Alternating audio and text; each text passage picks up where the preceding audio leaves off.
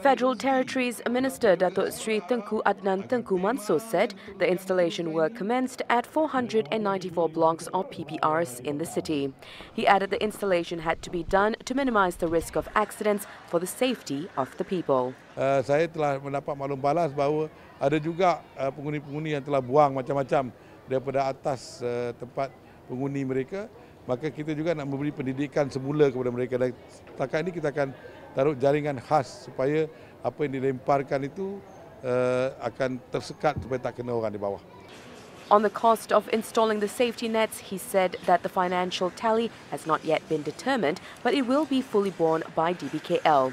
DBKL is also mulling imposing stricter actions and penalties on those found guilty of throwing items from upper floors. Currently, there are 80,000 PPR units in the city centre.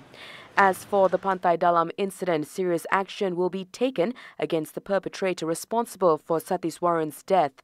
Although the boy's death is the first fatal incident, there have been numerous instances of residents being injured by people throwing items from the upper floors of the PPRs. Datuk Sri Tengku Adnan stated the case is unprecedented and his ministry will make sure that the law takes its course.